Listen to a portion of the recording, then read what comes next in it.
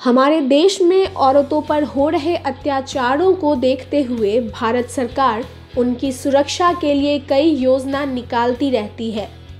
आजकल किसी भी तरह की खबर हो, पॉजिटिव या निगेटिव, सब कुछ सोशल मीडिया पर तेज़ी से वायरल हो जाता है।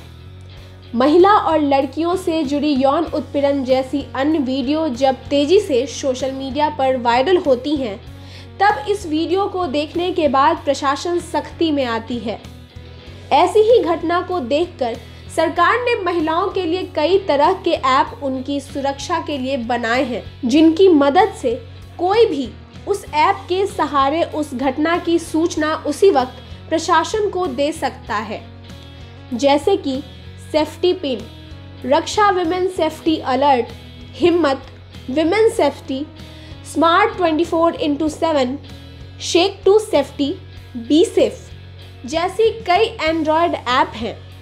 इसके बावजूद सरकार ने प्रयोग के तौर पर एक और मोबाइल एंड्रॉयड ऐप लॉन्च किया है, और उस ऐप का नाम है बंधन तोड़ ऐप इस ऐप की खासियत यह है कि यह ग्रामीण क्षेत्र की महिलाओं के लिए बनाया गया है।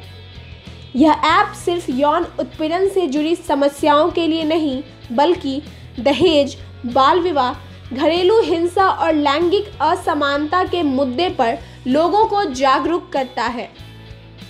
सरकार को पूरी उम्मीद है ग्रामीण क्षेत्र की महिला इस ऐप की मदद से अपनी चुप्पी ज़रूर तोड़ेंगी। यह ऐप हिंदी में है और इसे डाउनलोड करना और चलाना बेहद आसान है। यूनाइटेड नेशन पॉपुलेशन फंड ने बुधवार को पटना में आधिकारिक तौर पर जेंडर अलायंस के सहयोग से तैयार इस ऐप को लॉन्च किया है। लाइव सिटीज़ के लिए ईशानी प्रियम की रिपोर्ट।